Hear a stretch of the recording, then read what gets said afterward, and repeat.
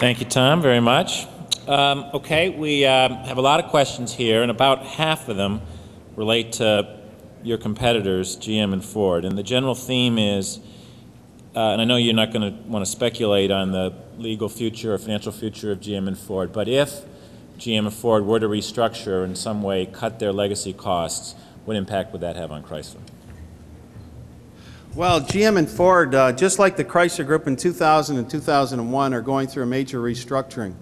And uh, I've- stated uh, along the way, they will rebound, and we certainly wish them limited success.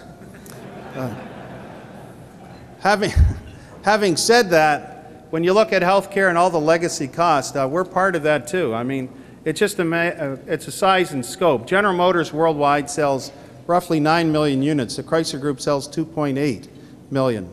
So it's just a matter of scope. We have the same legacy issues, and we're working with them and Ford and others uh, to, uh, to tackle it and, and fight it. And I think we're going to make some progress soon. We are, at least locally, What is Daimler Chrysler's alternative energy strategy? Well, I saw a General Motors display uh, here on E85, which is pretty good. And, and uh, by the way, they've announced they have 1.5 million vehicles on the road. So do we. Uh, by the way, 1.85 million. We, we've announced just recently that starting in 2008, we'll have 500,000 units. 25% of our production will be E85. So flexible fuels is one of our strategies. Diesel is another big strategy for us. 30% improvement in fuel economy clean diesels. We've got BlueTEC as a new brand through Mercedes and us. Mercedes designed and developed it, one of the biggest diesel manufacturers and designers in the world. Uh, we'll come out with that 30% improvement and better torque and meets all the emission standards for all 50 states. The other thing we're working on with General Motors joint venture, BMW, Mercedes, and us is the whole area of hybrids. We'll launch our first one in early 08. It'll be the Durango. And last, the, the biggest company in the world, we have over 100 fuel cell vehicles from buses, Sprinter vans, and small A-Class Mercedes around the world in test right now and have been out there for over a couple years testing fuel cells, and we still think that'll be a strategy as well. How big will Chrysler's business be in China in 10 years and India in 10 years? Well, I'm still going to be working by then, so uh, in China, we, uh, we have a joint venture we've had for a long time. Uh, I don't know about 10 years yet, but in the next five years, uh, the growth is just dramatic uh, in that region. We're going to be launching the 300C, the Chrysler 300. It'll be made in China uh, for local consumption. We'll be looking at another midsize sedan here uh, soon as well. We're launching a minivan in Taiwan uh, starting this, uh, this April. The big launch, I'll head over for that. We're going to put a uh, minivan for local production in southern China. So we're going to grow now. Our market share is very, very low. We'll hope to triple that in the next uh, five years and, uh, and grow there. India, we're not a big player in India. You got to look at the Chrysler Group as much a small niche player in international markets. Overall international markets, let's take Europe. We have 0.6 of 1% share in Europe, hoping to triple that in the next uh, three, four years. So India, we're a small player. We'll look at that area of, of the world uh, probably in the next few years. But most the India volume, 70% of that volume is in A and B segment and small C, if you will. So it's small car market. And to compete there, you've got to get a car about $5,000, six to 7,000. So uh, we don't want to go into a market just to say we're there and lose money. We'll go where there's profitable growth and we'll follow the market where there is. GM's uh, plans to explore a sale of GMAC have gotten significant publicity. Can you talk about Chrysler's finance group, insurance group, et cetera? Well, I can say this about uh, Daimler Chrysler Financial Services, it's not for sale, and we make a lot of money. Thank you. Can you talk about future technology in terms of smart cars and electronic improvements that we might see the next few years? Oh, electronic improvements. I mean, there's all kinds. Uh, I don't want to tell the competition what we're thinking of. We have one of the biggest, and we spend more money on research and development in the top 10 around the world in research and development.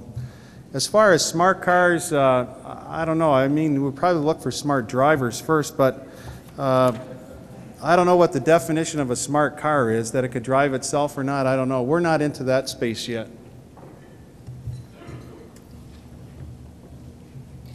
As you look forward, do you think five years from now there will be fewer brands of autos sold in the United States? Uh, That's a great one. Uh, I would like to say yes, but I don't think that'll happen. I think what you're seeing is a shift.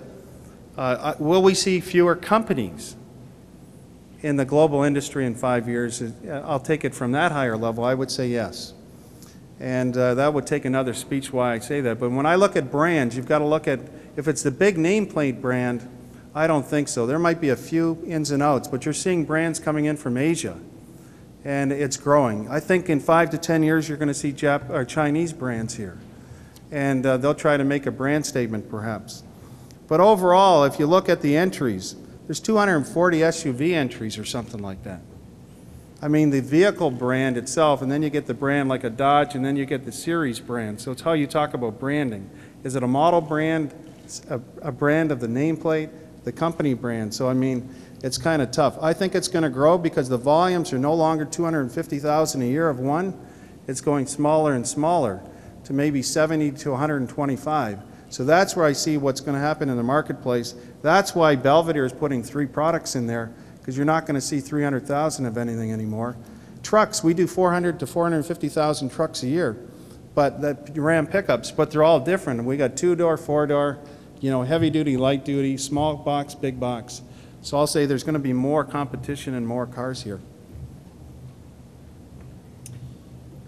In press reports on the auto industry, it is sometimes difficult to distinguish between urban legends and facts.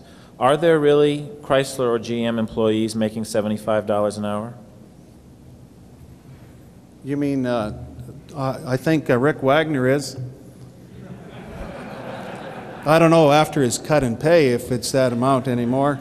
Uh, only kidding, I used to work for Rick. $75 an hour, is that the question? Absolutely no way in the plants uh, that anybody's making that kind of money. But if the- you have a job in your company that pays that, give me a call. Um, What is the impact of public transportation on your business? Maybe even, let me paraphrase the question, say, what do you see the impact of public transportation being longer term on large cities like Chicago? Well, since I haven't frequent uh, the place, uh, people still want individuality and want a car and truck. Uh, And we see that even in Europe. Europe's good big with mass transit uh, between their cities, but sales continue. It's one of the bigger markets in the world, and I think you'll see, continue to see that. People want on weekends, they still want to drive, and they want to go places. And we're going to be there with great fuel economy vehicles, and I don't see much change. We see this market growing anywhere from 2 to 3 percent per year uh, in the future years, so there'll still be growth here. I mean, if you look in America, everybody has a car, even though you don't drive it. We were talking, some have four or five, and you can only drive one. I mean, that's great. And just keep buying Dodge, Chrysler, and Jeep products. That's all I want you to do. And then use mass transit if you'd like. Just park them in your garage. I don't care.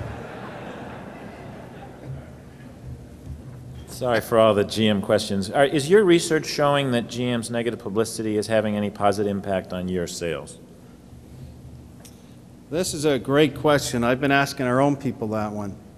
What happens with General Motors, a great company, they will rebound. There is no doubt about it. They, they're going to come back. So will Ford. And so we don't take that lightly. When General Motors gets a big, big, heavy cold and sneezes, some of us catch it a little bit. But we're fighting back with product design and features from the inside out. Take the 300C. I mean, it's the fastest growing market for us. It's a great vehicle. Take the minivan. Everybody's fighting us, including Toyota and Honda and minivan. We gained almost 2 percentage of share last year in 5. We're up to 35% of all minivan sales as the Chrysler Group. We did it because of inside features. We will fight the game at retail with design and product and quality, and I think that's fair. And uh, GM, Rick's got his hands full, but he'll come out of it. Both Chrysler and Daimler have always had great reputations for engineering. Is, as you move from GM to Chrysler, is there something in the company history that accounts for this reputation? Well, I joined uh, Chrysler in May of 2000, and what I saw is a nimble, fast, a big organization that acts and runs fast. And the one thing, even in the new organization, when I took over from Dieter Zetsche, The one thing I have the design, the head of design, Trevor Creed, Senior Vice President of Design, he reports to me. In engineering, we have reporting to the Chief Operating Officer. Of course, he still works for me, but we did it that way. I- We like tension. We want the designers to have freedom to express themselves, and then we force engineering and manufacturing to meet it, versus the other way around. You cannot have a process-driven company dictate what design can do. So we have that tension, it's creative tension, we like it, and I think that's a big difference between the companies. What do you drive? Well, I just drove uh, two days ago one of our minivans that we're making in Taiwan to check it out for quality and stuff like that. I drive a 300C. I just turned in my 300 SRT8 for the winter season, and I'll be picking up another vehicle in a couple weeks. So I trade in and out of all our cars, a caliber to test them out, get our engineers nice and excited of my, I call them my love notes on, on quality and stuff like that. But I'm in vehicles all the time, and I love driving uh, fast ones. This is uh last question. What's it like working for Dieter? Well, people al- always ask me that, and, and then they say to me, What's the advice Dieter gave you? And I said, Not to grow a mustache like his. But uh, he's a great leader. I mean, he's a visionary. I've worked for him for over five years now. He lets you run your show, and you need help. He's a great uh, strategist. He's one of the best, without question, in any business. One of the best uh, leaders everywhere. Can can I get that on tape, by the way, and, and, and send it back?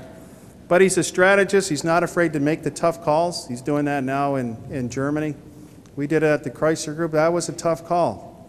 I mean, if you look in 2000, 2001, our dealers were there to help us. Our suppliers were there to help us. Our unions were there too.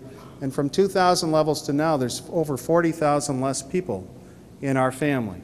But we've protected the pensions, the health care, the things that mean a lot. And if I look at the company that I work at, you know, my dad was an auto worker and was the president of the union in Chrysler. Both my grandfathers worked at the plant, and so did my great grandfather.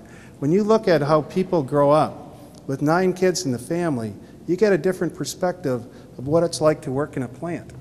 And so, as an executive, you got to balance that stuff. You got to make money for the shareholders. But I'll tell you, there's 85,000 people working their butts off every day to make us successful. There's 120,000 retirees out there. When you look at what my dad gets in retirement, it's 2,200 bucks a month. So they're counting us to be successful, and our dealers do a great job for us because they bring me all the revenue. Thanks very much.